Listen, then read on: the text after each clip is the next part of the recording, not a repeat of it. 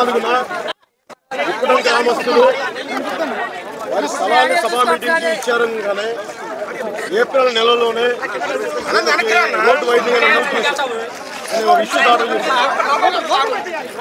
రోడ్లకి గుంతలు పొచ్చలేని వాళ్ళు రోడ్లకి గుంతలు పొచ్చలేని వాళ్ళు రోడ్లకు రోడ్లకు గుంతలు పొచ్చలేని వాళ్ళు రోడ్లు వేయలేని వాళ్ళు వీళ్ళు ఇప్పుడు రోడ్డు వైండింగ్ చేస్తారు. మంగళగిరి ఎమ్మెల్యే ఆర్కే ఆయన భూము ఆయన ఇల్లు ఆయన ఇల్లు ఆయన ఇల్లు రోడ్డు పదిహేను అడుగులు. ఇక్కడ అరవై అడుగులు డెబ్బై అడుగులు నలభై అడుగులు. విపక్షాలకి అండగా ఉంటారు వాళ్ళ మీద దాడి చేయడం చెప్పు చూపించుకొని ఏమన్నారా? మీరు ప్రజాస్వామ్యం అంటారా? ఈ ప్రజాస్వామ్యం ఇది? మీరు ఇలాగే చేస్తానండి వెతికి బాధ్యతలు మీరే తీసుకోవాలి. మీ నాయ మీ మీ వైసీపీ ముఖ్యమంత్రి మీ నాయకుడు బయటికి రాడు. చిలక పలుకులు పలుకుతాడు ఆయన. మీరు ఇవ్వండి. చిలక పలుకులు పలికించండి పూతులు తిట్టించండి. మేము ప్రజాక్షేత్రం చూసుకుంటాం ప్రజాస్వామ్య క్షేత్రం చూసుకుంటాం. రేపులు చేసేవాళ్ళని వెనకేసుకురండి.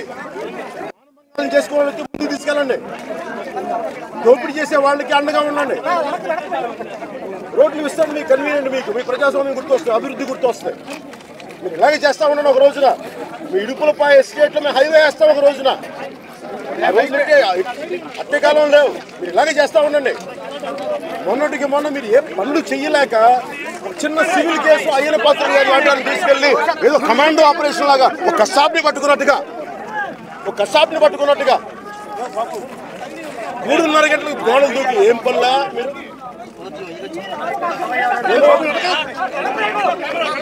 నేను- పోలీస్ అధికారులు కూడా అడగట్లా.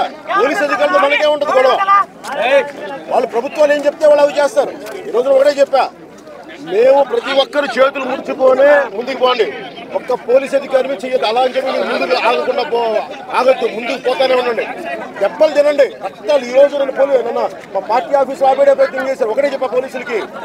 మీరు కొట్టేన రక్తం బద్దలు నా బద్దలు కొట్టాలి లాంటితో కొట్టండి. జైల్లో పెట్టుకోండి. మీకు అలవాటే కదా. వైసీపీకి ఉన్నారు అలవాటే కదా. మీకు ఎదురు వాళ్ళు సుపారీలు ఇవ్వడం. అలవాటే కదా. చేసుకోండి. మాకు ఏమీ ఇబ్బంది లేదు. ఒక నిమిషం. అవన్నీ అవన్నీ మాకు ఓకే. ప్రజాస్వామ్యాన్ని పరిరక్షించడానికి ఒకప్పుడు తెల్లదొరంతో పోరాడారు. ఈసారి మీలాంటి గుండా వ్యవస్థ మేము పోరాడతాం. ఈ జనరేషన్ చాలా ఖచ్చితంగా ఉంది. వెనకడిగియ్యం ఏ మాత్రం వెనకడిగియ్యం మీరు ఇలాగే చేస్తా ఉండండి. మేము చూసుకుంటాం. ఎంత దెబ్బలు కొడతారు ఎన్ని కేసులు పెడతాయి? బాబు ఈరోజు అందరికీ చెప్తున్నాం. జనసేన నాయకులకి సైనికులకి మీరు జైలుకి వెళ్ళడానికి రక్తాలు చిందించడానికి సిద్ధంగా నేను చిందించడానికి సిద్ధంగా ఉన్నా.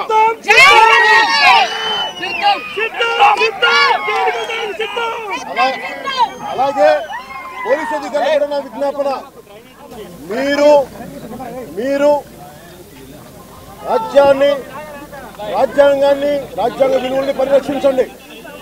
ఇక్కడ మహాత్మా గాంధీ గారి విగ్రహం కూల్చేశారు అబ్దుల్ కలాం గారి విగ్రహం కూల్చేశారు నెహ్రూ గారి విగ్రహం కూల్చేశారు ఒక వైఎస్ఆర్ రాజశేఖర రెడ్డి గారి విగ్రహం మటుకు అలాగే ఉంచారు. శివుడి కాపలగొండ నందీశ్వరుని కూడా కూల్చేశారు మీరు. ఇది మీరు చేసేది అధికారులు కూడా కొంత మీరు కూడా కొంచెం మీకు స్పృహలతో చేయండి పనులు.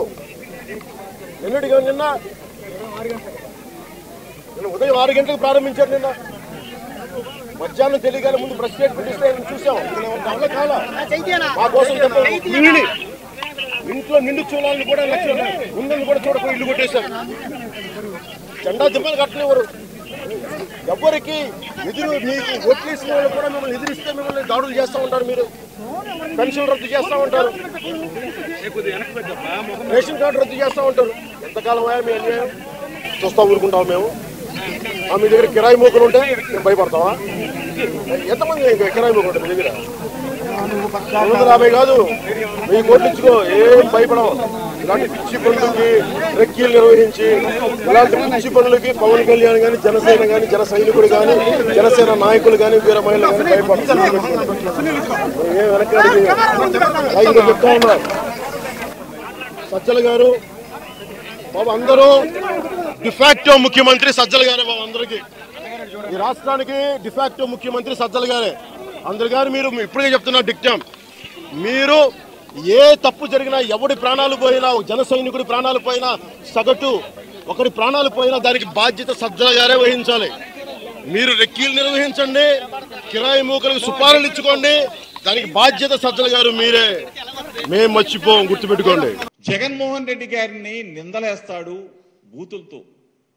అంటే ఎంతగా దిగజారిపోయారా బాబు మీరు? మీ బ్రతుకులేంట్రా ఈ చంద్రబాబు నాయుడు కొడుకు ఈ పప్పు సైకోగాడు జగన్మోహన్ రెడ్డి గారిని విమర్శించడమా నీ స్థాయి ఏంట్రా బాబు? వార్డు నంబర్గా కూడా గెలవలేని ఈ లోక జ్ఞానం తెలియని ఈ పప్పు సన్నాసి వెధవ?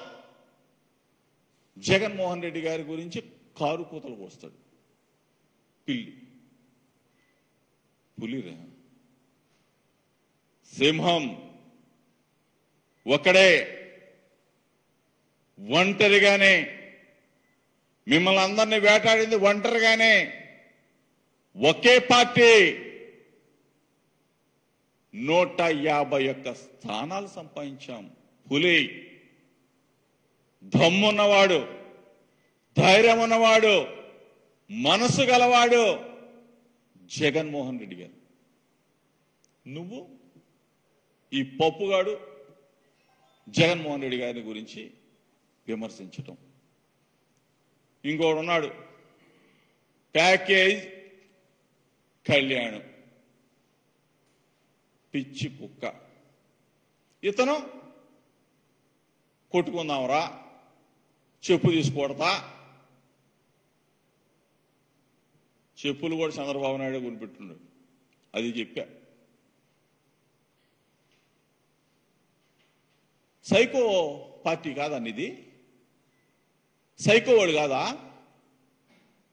సైకో సేన కాదని ఇది వీధి రౌడీలు అర్ధరాత్రి సంచరించే వాళ్ళు పిక్ పాకెట్ గాళ్ళు వీళ్ళని ఈ సైకోలు అందరూ ఈ సైకోగాడు తయారు చేస్తాడు.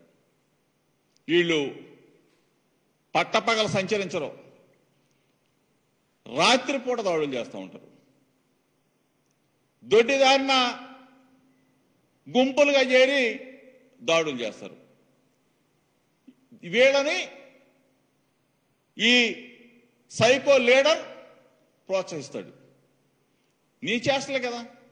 ఎవరైనా ఒక లీడర్ మా లీడర్ ఉన్నాడు. దమ్ము గలవాడు మనసు గలవాడు మంచివాడు. ఆయన బాటలో మేమందరం కూడా నడుస్తూ ఉంటాం. మనసు పెట్టి పరిపాలన చేస్తా ఉన్నాడు. ప్రతి గడపకి వెళ్ళమన్నాడు. ప్రతి అక్కని పలకరించమన్నాడు. వాళ్ళ యోగక్షేమాలు తెలుసుకోమన్నాడు. మాది బాధ్యత. మీది? మీదేంటి? మీ పార్టీ ఏంటి?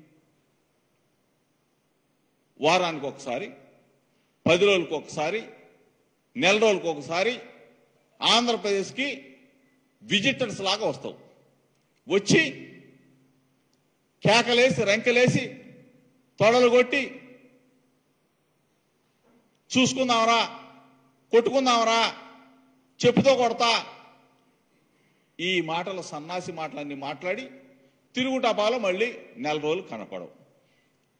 ఇక్కడేమో నీ మాటలు కన్నా ఈ సైకో అందరూ పాపం రోడ్ల మరి తిరుగుతూ సైకో చేష్టలు చేస్తూ ఉంటారు. దీన్ని ఏమంటారు? రౌడీ సేన అనరా? రౌడీ సేన అనరా? దీనికి పెద్ద రోషాలు వచ్చేసి పత్తిత్తు వాళ్ళందరికీ. నిన్న ముఖ్యమంత్రి గారు మాట్లాడిన దగ్గర నుంచి వీళ్ళందరూ కూడా పాపం మీడియా ముందుకు వచ్చేసి అట్లా ఇట్లా ఇట్లా అట్లా ఏమంటారు మిమ్మల్ని? మీ పార్టీని ఏమంటారు? రౌడీలాగా గూండాల్లాగా అర్ధరైతుల పోటైంది ఎటువంటి పార్టీ మీది? ఒక రౌడీ సేన పెట్టి వీళ్ళు వీళ్ళందరూ కూడా ఇక్కడ ఒక ఇందాకే ప్రెస్ మీట్ పాత్ర వేస్తాడంట. ఏంది పాత్ర వేసేది నువ్వు? విజయవాడ నడిబొడ్డులో సెంట్రల్ నియోజకవర్గంలో పూడ్చిపెట్టేశారా బాబు నేను పూడ్చేశారా బాబు నిన్ను? వీడు పాత్ర వేస్తారంట మమ్మల్ని.